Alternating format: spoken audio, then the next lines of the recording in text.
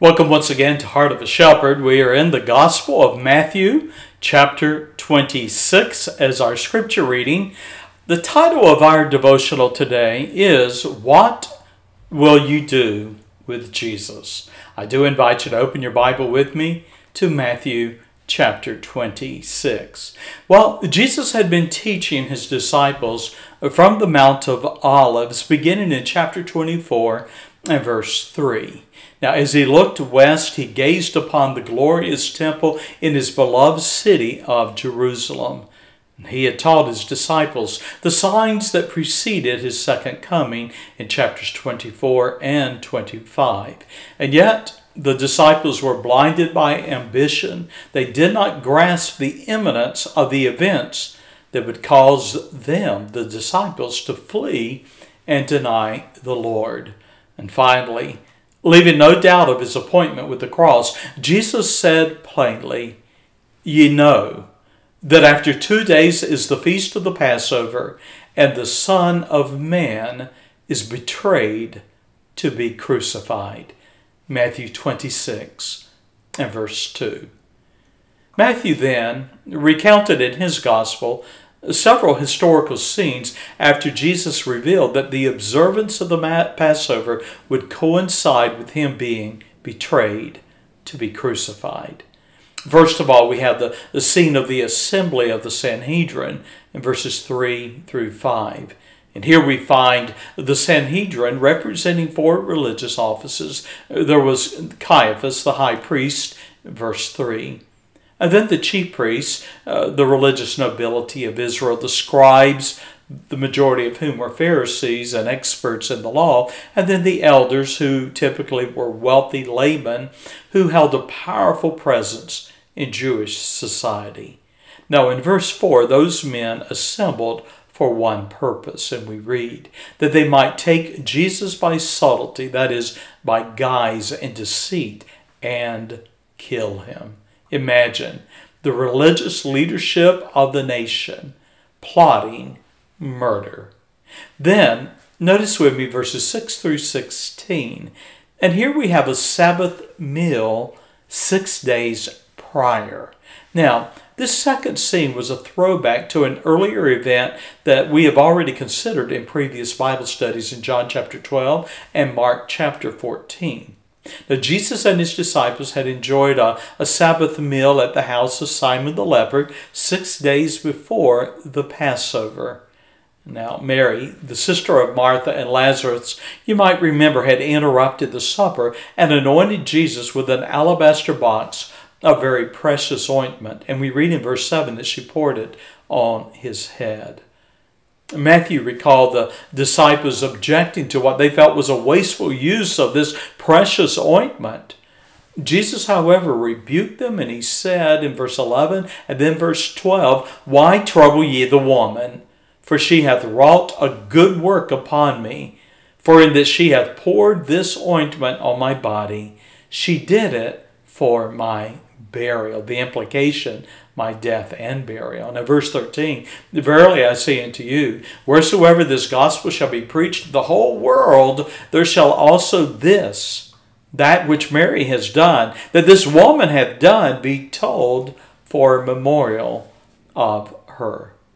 Well, coming to verses 14 through 16, here we have a record of Judas meeting with the chief priests to betray Jesus. Chafing from the rebuke he rightfully received for his greed and protest, we read, verse 14, Then one of the twelve, called Judas Iscariot, went unto the chief priests, in verse 15, and he said unto them, What will ye give me? And I will deliver him, that is Jesus, unto you. And they covenanted with him for thirty pieces of silver. And we read in verse 16, And from that time he sought opportunity to betray him, that is, betray Jesus. Then, verse 17 to the end of the chapter, we have the preparation. Jesus' last Passover with his, with his disciples and also his betrayal. Now, Matthew records the preparation for the Passover meal, verses 17 through 19, which was indeed our Lord's Last Supper with his disciples. Now, though Jesus had foretold he would be betrayed none suspected Judas. What the church, uh, church observes today as the Lord's Supper is actually taken from the Lord's Passover and instituted as a perpetual memorial to Christ's death, burial, and resurrection. Now, when the observance of the Passover was ended, Jesus and the disciples, we read in verse 30, sung a hymn, and they went out into the Mount of Olives. Now, along the way, Jesus foretold the disciples would abandon him that night and fulfill Zechariah's prophecy that the shepherd would be smitten and the sheep would be scattered. And when Peter protested, Jesus foretold that he would deny him three times before sunrise. Well, when they arrived at the Mount of Olives, we read in the scriptures in Matthew's account that Jesus invited Peter, James, and John to retreat into the garden called Gethsemane.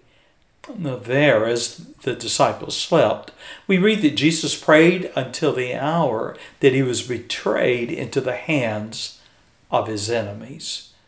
Now, knowing where Jesus and his disciples would gather, Judas, verse 47 through 49, led the chief priests and elders to the place and there betrayed him with a kiss.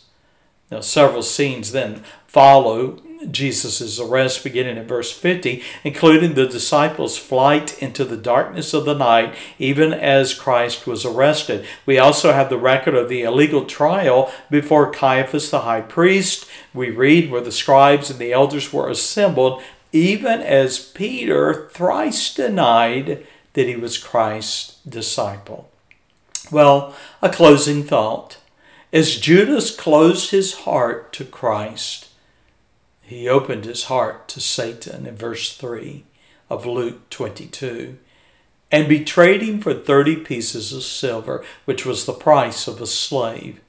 His name, the name of Judas, has come to embody sin, wickedness, and the villainy of rejecting Jesus Christ.